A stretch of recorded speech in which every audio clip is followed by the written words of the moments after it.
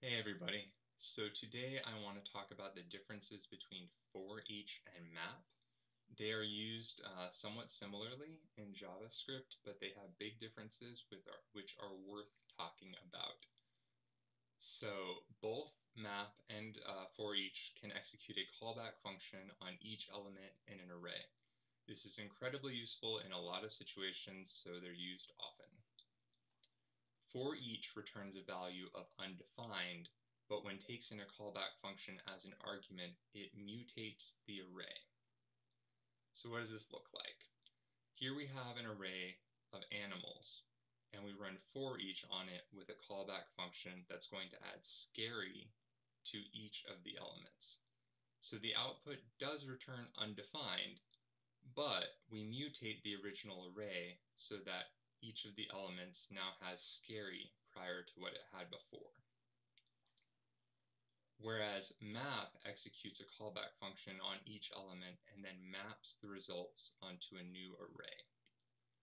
So again, here we have uh, an array called animals, and we're running map on it and adding cuddly to each of the elements. So the output is going to create a new array has cuddly tigers, cuddly lions, and cuddly bears.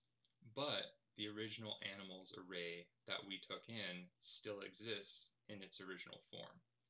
So these are two different options that seem similar but have two different outputs that are useful in different situations. So you want to have both of them uh, available in your tool belt. A silly way to remember this uh, that I like to use is to think of a treasure map. Uh, when you see them in movies, they're typically frail and crinkly looking. Um, if you got new coordinates that you wanted to add to your treasure map, you wouldn't want to write on the existing treasure map because uh, you would probably rip it or break it. So what you would want to do is to make a copy of the original map with the updated information. So when you think of map, think of a treasure map and that you'd have to copy it with any new information. Uh, another difference is that map can be chained, whereas for each cannot. And I'm sure several of you have already thought of this because we said previously that for each returns undefined. So in a situation like this, um, for each is going to return undefined in this scenario. And so then you're going to be running methods on undefined, which isn't going to work. It's just going to throw this error back at you.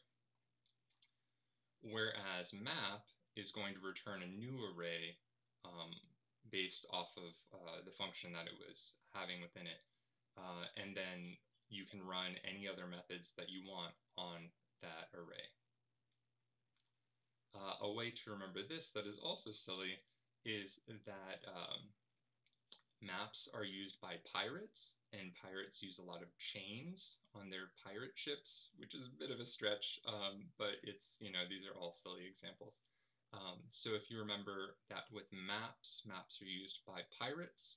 Pirates use chains on their ships, so maps can be chained, whereas for each cannot. So this was kind of silly, but I hope it was helpful. Uh, if it was, feel free to hit those like and subscribe buttons.